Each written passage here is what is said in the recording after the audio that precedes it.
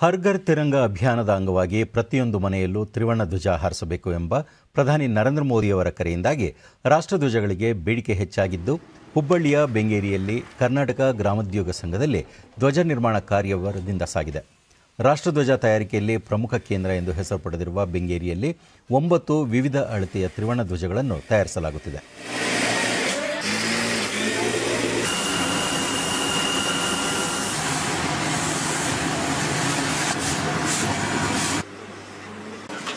Artistically. Vande ಮಾತರಂ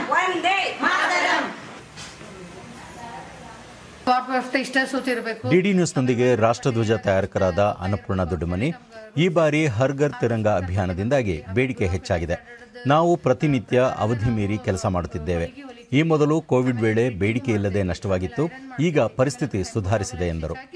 iron ಮಾಡಿ ಗುಡಾನಿಗೆ ಕಳಿಸ್ತಾರೆ ಗುಡಾನಿಂದ ಸೇಲ್ ಮಾಡ್ತಾರೆ. ಆಲ್ ಇಂಡಿಯಾ ಎಲ್ಲ ಸೇಲ್ ಮಾಡ್ತಾರೆ. Out of Odisha Kerala Maharashtra Jammu Kashmir all India ಹೋಗ್ತೈತ್ರಿ ಮತ್ತು ಫಾರಿನ್ ರಾಯಭಾರಿ ಕಚೇರಿಗೂ ಹೋಗ್ತಾವೆ. ನಾನು ಇಲ್ಲಿ ಕೆಲಸ ಮಾಡೋದು ಪ್ರೇಮ ಪೂಜಾರಿ.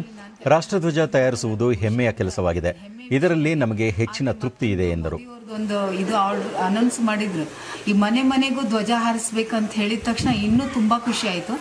ಆದ್ರೆ ಲಾಕ್ಡೌನ್ ಇರುವಾಗ ಸ್ವಲ್ಪ ನಮ್ಮ ಧ್ವಜಗಳೆಲ್ಲ ಹೋಗ್ಲಿಕ್ಕೆಲ್ಲ ತುಂಬಾ ತೊಂದರೆ ಆಯ್ತು. ಎಷ್ಟೋ ಜನಕ್ಕೆ ಮನೆಯಲ್ಲಿ ಇರೋ ಪರಿಸ್ಥಿತಿನೂ ಬಂತು.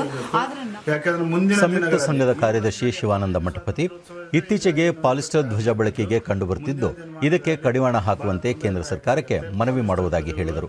ಕಡಿಮೆ ರೇಟ್ನಲ್ಲಿ ಸಿಗ್ತವೆ. ನಮ್ಮ ಕೈಲಿಂದ ಮಾಡಿದಂಥ ಖಾದಿ ಧ್ವಜಗಳು ದುಬಾರಿ ಆಗುತ್ತೆ.